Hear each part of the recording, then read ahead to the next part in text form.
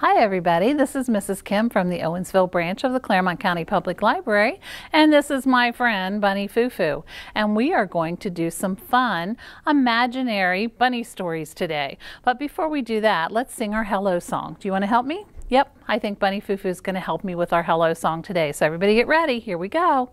Hello, hello, hello, and how are you? I'm fine, I'm fine and I hope that you are too. Okay, well, we all know that to be good readers, you have to know your letters. So, what better song to sing to learn our letters than the ABC song? Are you guys ready? Are you going to sing this with us too, Bunny Foo Foo? Yep, I think Bunny Foo Foo is going to do that too. And if you would like, you can clap as we say each letter. Here we go.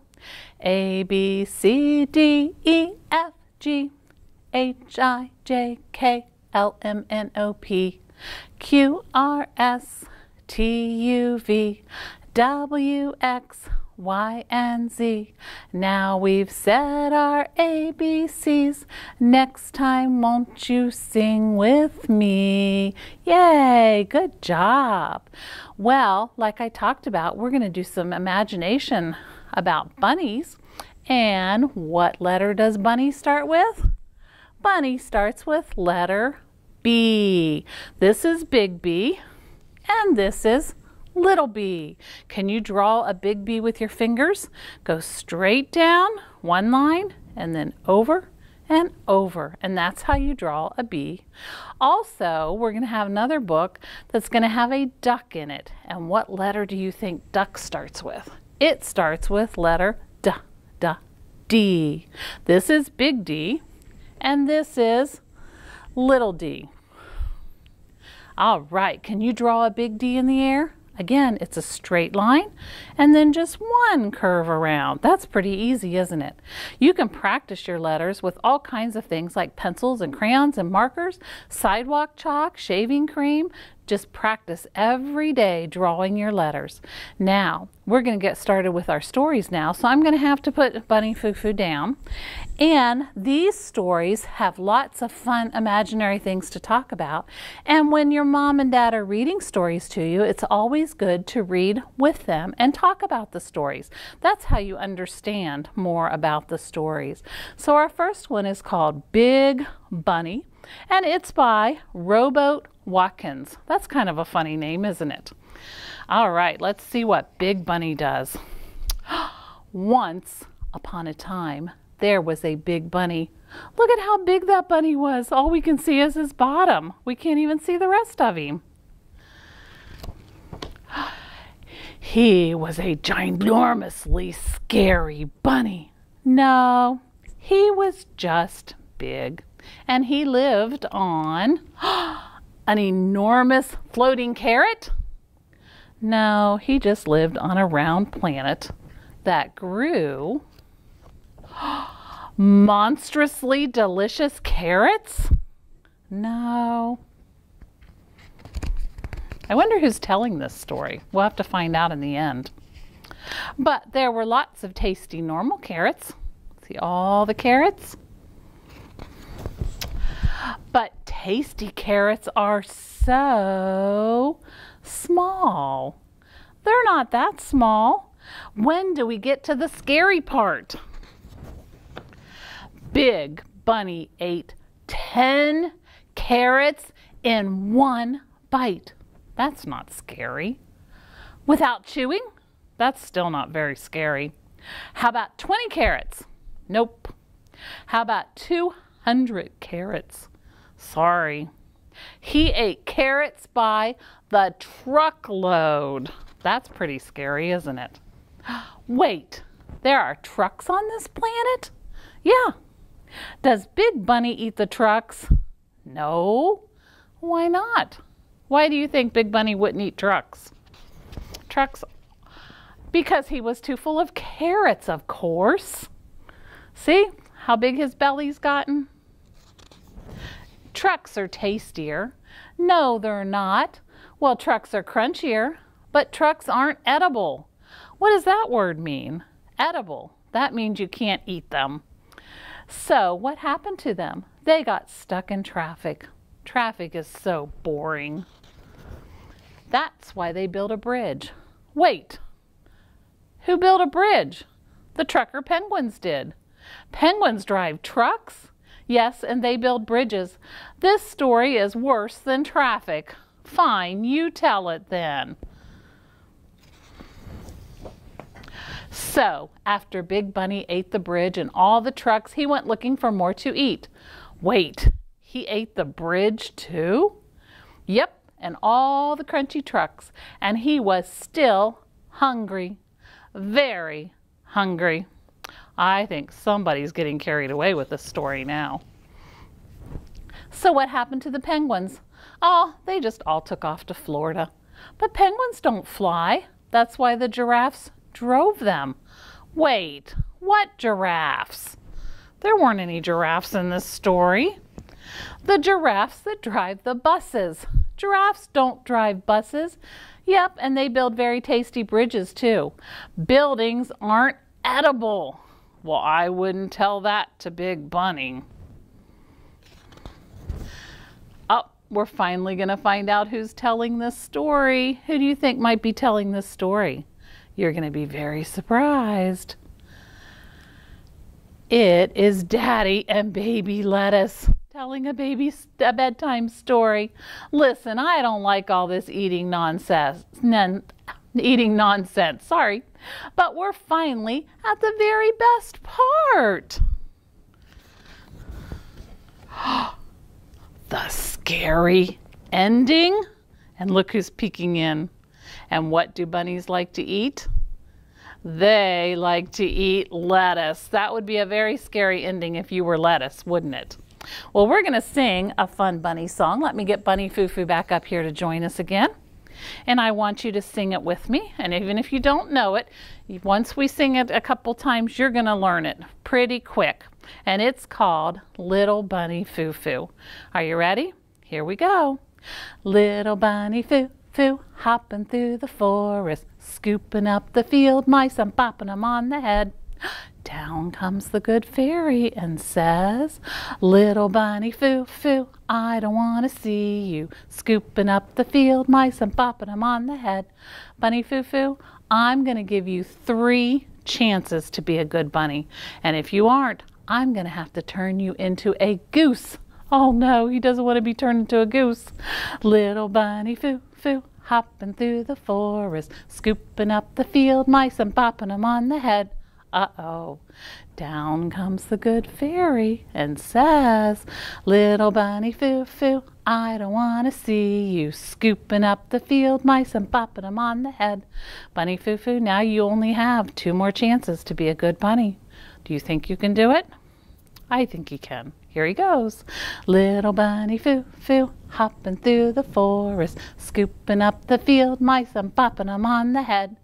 Down comes the good fairy and says, Little bunny foo foo, I don't want to see you scooping up those field mice and popping them on the head. Uh-oh, down comes the good fairy and says, You only have one more chance. Bunny foo foo, you better be a good bunny. Okay, here he goes. Little bunny foo foo, hopping through the forest, scooping up the field mice and popping them on the head.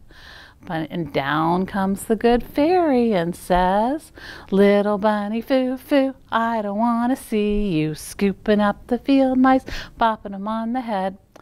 Bunny foo foo, you have not been a good bunny.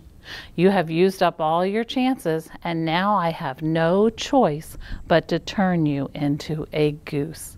Alakazam 1, Alakazam 2, Alakazam 3, and poof!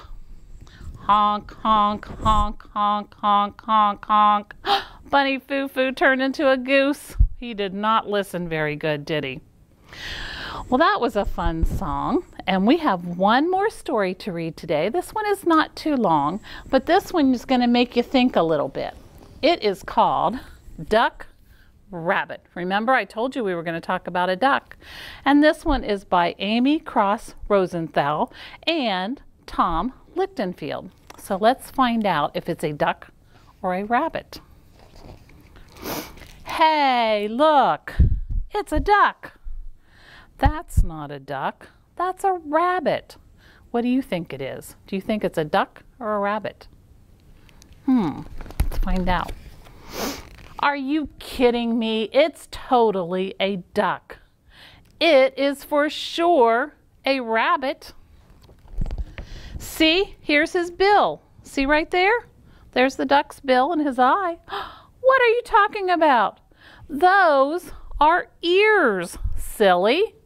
Those are rabbit ears. What do you think? Do you think they're ears or a bill? It's a duck and he's about to eat a piece of bread. See? There he goes with his bill. no, it's not. It's a rabbit and he's about to eat a carrot. Uh-oh, it does look like a rabbit. Wait, listen, did you hear that? I heard duck sounds. What does a duck sound like? Quack, quack. That's funny because I distinctly heard rabbit sounds. Rabbits just go sniff, sniff. They don't make much noise, do they? Now, look, the duck is wading through the swamp. No, it isn't. That's a rabbit, and he's hiding in the grass. Anybody can see that. There, see? The duck is flying. It's flying and he's hopping. Look, the duck is so hot that he's getting a drink. Nope, the rabbit is so hot that he is cooling off his ears. Look, here, look at that duck through my binoculars. Nope, I still see a rabbit. Here, ducky, ducky. Here, you cute little rabbit. Oh, great. Now you scared him away. I didn't scare him away. You scared him away. You know, maybe you were right. Maybe it was a rabbit. Thing is, now I'm actually thinking that it might have been a duck. Well, anyway, now what do you want to do? I don't know. What do you want to do? Hey, look, it's an anteater. No, that's not. That's a Brachiosaurus. The end. Have you ever sat on a nice sunny day and watched the clouds and tried to make shapes out of them? That's what they were doing in this story, and they were using their imaginations, which is what you want to use every day. Well, to finish our story time today, we're going to do a little song about ducks. And you can hold up your five little ducks if you want to. Hold your hand up like this, and it goes like this. Five little ducks went out to play over the hills and far away. When the mommy duck said quack, quack, quack, quack, guess what? Four little ducks came running back.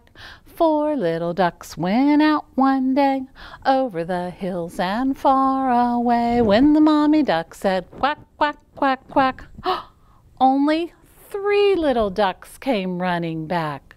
Three little ducks went out one day over the hills and far away. When the mommy duck said quack, quack, quack, quack, only one, two little ducks came running back. Two little ducks went out one day over the hills and far away. When the mommy duck said quack, quack, quack, quack, only one little duck came running back. One little duck went out one day over the hills and far away. When the mommy duck said quack, quack, quack, quack, no little ducks came running back. Those silly ducks, they better get home before supper. Now, I told you you can practice writing your letters and that helps you get ready to read. But it's also fun to retell stories. And here's a fun way that you can retell the duck rabbit story. You can make your own duck rabbit puppets. See, here's the duck and here's the rabbit. And it's very easy to do. All you need to do is get a piece of paper. If you have construction paper or card paper, it's better. Fold it in half like this. Fold it right like that. And it's very easy to draw the shape of the duck rabbit. But if you forget what it looks like, check the book out and then you can look at the book. So all you need to do is just draw the shape on here, real easy, with the ears or the bill, whatever you want to call it. And then you just take your scissors, and because you have your paper folded over, once you cut it, you will actually get both. And I'm not going to cut the whole thing out. I'm just showing you how to do it because I already have them cut out. So you just put a little eye on it and you can color them if you want to. If you want to make them more look more like a duck and a rabbit, that's fine. But it's funner to try and figure out which one's which. So that's a way that you can retell your story and tell somebody else the fun story that you heard today. Also, if you like stories about imaginary rabbits, here's another one that's really good that I would encourage you to check out from the library, and it's called Dog and Rabbit. And it's about a dog and rabbit who are looking for a friend, and friends show up in the most unusual places. But that's all we have to, for today's story time. So have fun retelling your stories, have fun writing your letters, and let's get Bunny Foo Foo back out here. Because I didn't really turn him into a goose, did I? That was just pretend. And he's going to help us with our goodbye song. This is the way we say goodbye, say goodbye, say goodbye. This is the way we say goodbye at the end of story time. Bye, everybody, and happy reading.